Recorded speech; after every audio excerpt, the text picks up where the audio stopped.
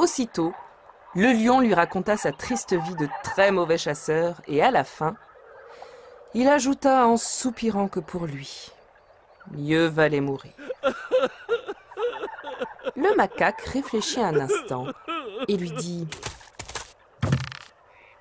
Voici ce que tu dois faire, et tout s'arrangera pour toi. D'abord, retourne auprès des tiens. Tu convoqueras tous les lions, en tenant les lionnes bien à l'écart. Puis, tu leur diras ceci.